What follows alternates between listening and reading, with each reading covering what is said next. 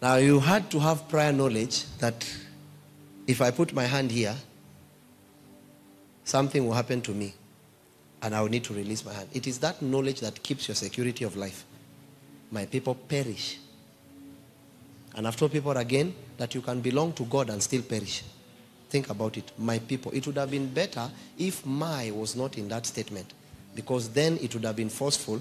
We can force it on when you're not born again. But when my is introduced to that verse, it makes that verse very dangerous and different. So he is coming slowly. He is unlocking. So give it time. Are you hearing me? Now, if this verse read it like this, remove my and read it if you can. People are destroyed for lack of knowledge. Don't you think that would be fair? Because then the argument is if you're not born again. But you see, the word my changes the dynamics of this scripture. It explains to you that the worst thing that you can ever think of, and this is what guarantees that once saved, always saved is a lie. Because then here, how can you be his and still you are suffering destruction? Think about my question. I mean, if it's my people, the fact that those two words are enough, my people, it means the next thing that should follow there is not destroyed. Do you hear what I'm saying? So on the account of that, salvation is as permanent as the one that received you by the promise and you that accepted him. It's not just him that received you. It's you that accepted him. So when you teach salvation, uh, it's once and always. It is lazy people that can embrace that because they have forgotten the context of work your salvation. Work out your salvation. So then the question is, in case I don't work out my salvation, what do I stand to lose in the absence of my working? What do I stand to lose? Can I tell you? Your spirit, your soul. That's what you stand to lose. And Paul was very clear about the New Jerusalem and the kind of people that will inherit it. It's not just people that say, Lord, Lord, that will inherit the kingdom of heaven. So this scripture here says, my people are destroyed. So it's possible to belong to God and still suffer distraction. Do you hear what I'm saying? So let us not be carried away. And by this is not subject to debate. There's nothing to debate here. Some things, even if you hear a minister say, just go study your Bible for yourself. From God's side, God will never leave you. That is on God. I will never, not we will never leave each other. You're not listening. The Bible did not say we will never leave each other. It says I. He can only speak for himself. But you see, the problem is in a marriage, I'm not I, it is we. So me, I can tell my wife, I will never leave you. But her, she will need to, to tell me she will never leave me. Now, this is how it works. That you can say, God will tell you, from God's perspective, I will never leave you nor forsake you. That is God. Now you too must apply the same dynamics. That you must get to a mature place where you too will never leave him and never forsake him. Peter left and Peter forsake. So it's a perspective that can happen. And the only person who, through which there is guarantee of that scripture is God only. Because he is the only one that is faithful, able to keep his word to the latter. But me and you, uh, we are subject to change. And that's why today you feel, tomorrow you don't feel. God doesn't feel today and feel tomorrow. God does not operate and is not controlled by a feeling. He has exalted his word. God is controlled by his own word. His belief system cannot be anchored on emotional boundaries. Because then that will make God very dangerous. Because if God is controlled by emotion, look at the way you, you are behaving with emotions. You see, you have killed everyone. Can you imagine if God would decide to, from today, my emotion, my emotion, my emotions? Who would be alive to tell the story of emotions? So God is superior to what you call the emotions. And so it's very important that we, you're not listening.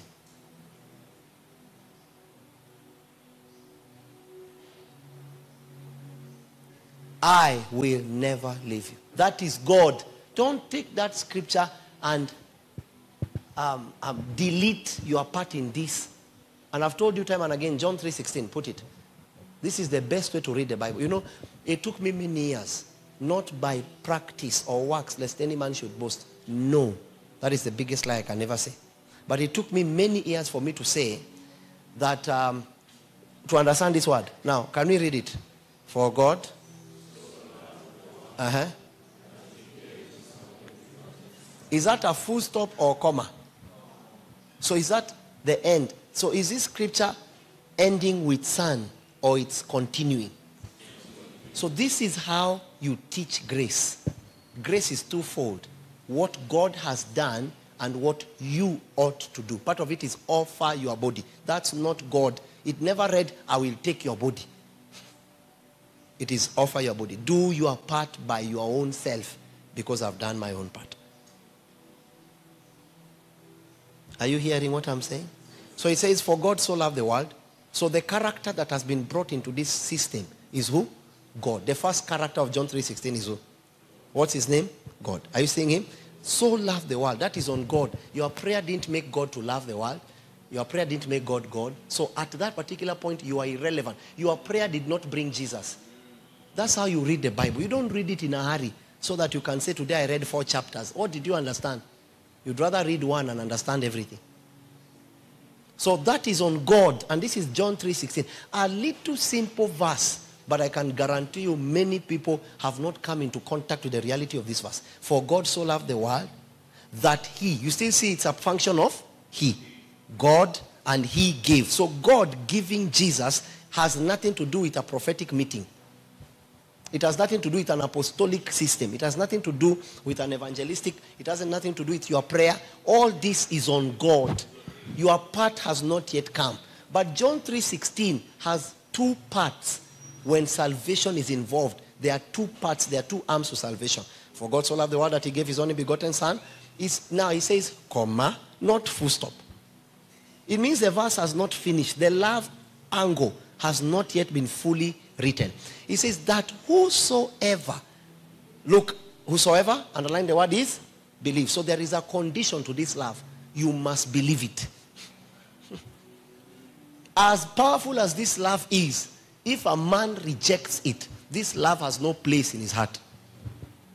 So God can only come so far and expect. Let me explain. Can I come down again?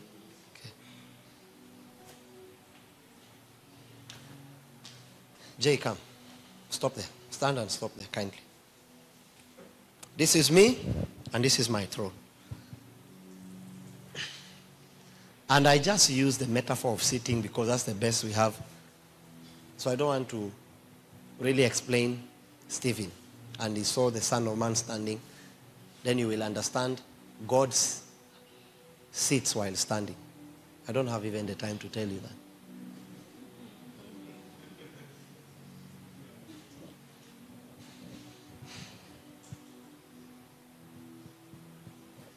Will you understand? Hapana, sitasema. You want to woo me so that I say, hey, waki Mungu muguze tu atuambie. That's no. I don't have time to explain. That's why I've explained sitting in heaven. It's not sitting using your behind. Stephen explained to us the sitting position of God. He saw the Son of Man standing. Sitting is a function of rest, not behind touching something. you are not listening. Why don't you listen?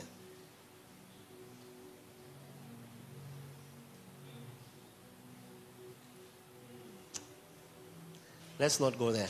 Just know it's a function of rest. When you sit, you have rested. So he saw the Son of Man standing, but he's already in his rest, Sabbath. It's not my teaching.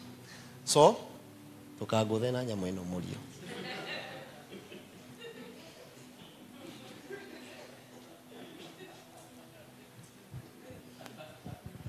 Thank God I just here. But anyway, this is Jay. This is my throne. And I've explained, I don't have time. Or maybe should I teach? I give you like three. No. So this is sitting in a metaphor. For God so loved the world Who, assuming I'm God and he's the man. God so loved the world. Is man praying about God to love the world?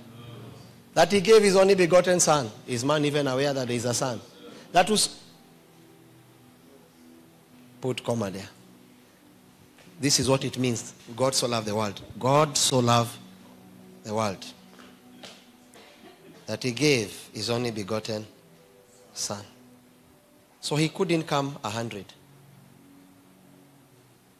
He came and then he moved to a certain location.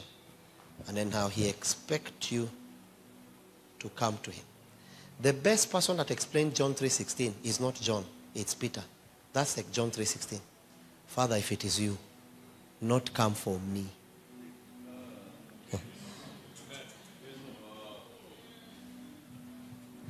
There's a secret place I found. He's living inside me. In you I live and move and have my being. Yeshua, oh, Yeshua, oh. There's a secret one I found.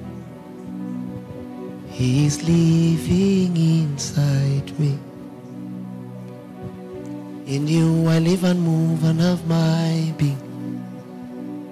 Agaba, oh, Agaba. Agaba, oh, Agaba. Agaba, oh, Agaba. Agaba, oh, Agaba. Yeshua, oh, Yeshua. Yeshua, oh, Yeshua. Yeshua, oh, Yeshua.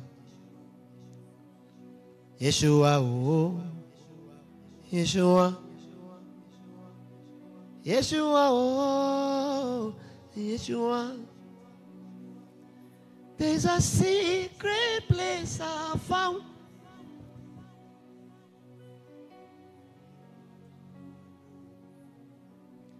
So don't forget it.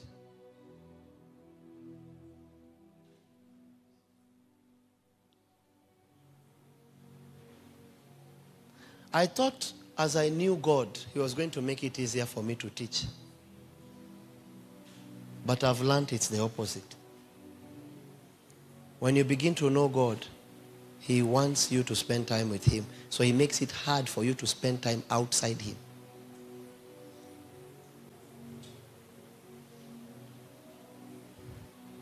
So Peter is the one that wrote John 3:16 practically. You're not listening. Then John wrote John 3:16 theoretically. So the theoretical angle to John 3:16 is by John's writing. The practical angle of John 3:16 is Peter. Have you understood it? So Peter could only come to a point where they can see him. Jesus, sorry. That they can see Jesus. He will only come to that point where you can pick him and then stop. Because that is what salvation is about. Father, if it is you, bid me. Meanwhile, remember that there were storms and the boat was capsizing. In other words, bring me to yourself. Give me your life. Jesus did not do this. Are you hearing me? He came only to that point where they can see him. Then he stopped. And that's 90, for example. And then he says, salvation is I come and stand at the door and knock. But you must open. Now, do you understand the context of... Why are you not understanding? That's the context of salvation. So any man that teaches salvation from the finished works of Jesus Christ without in my you're not listening. That I'm coming back. My reward is with me.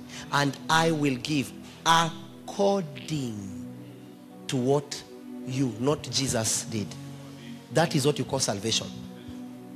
And John 3.16 explains to us the reality of a born again man. It is a man that has seen Jesus and has come to Jesus. So many of us, we have seen him, but we are not willing to come because you already know it will cost you some private things. And so you keep seeing him. No wonder you're crying during service. But you're not willing to step out of the boat. You're not willing. And this is the context of salvation. Have you understood it?